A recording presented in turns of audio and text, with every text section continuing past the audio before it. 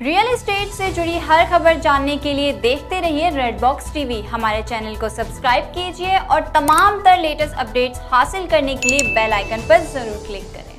नया पाकिस्तान हाउसिंग मंसूबे के लिए 33 अरब रुपए सब्सिडी की मंजूरी।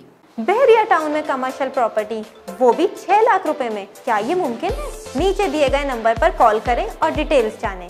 मुशीर खजाना हफीज शेख की जेर सदारत इकतसादी रबता कमेटी के अजलास में नया पाकिस्तान हाउसिंग मनसूबे के लिए तैंतीस अरब रुपए सब्सिडी की मंजूरी दी गई। ज़रा वजारत ख़जाना के मुताबिक इस साल चार अशारिया सतहत्तर अरब रुपये खर्च किए जाएँगे। तीन से दस मरहले के छोटे घरों की तामीर पर सब्सिडी दी जाएगी।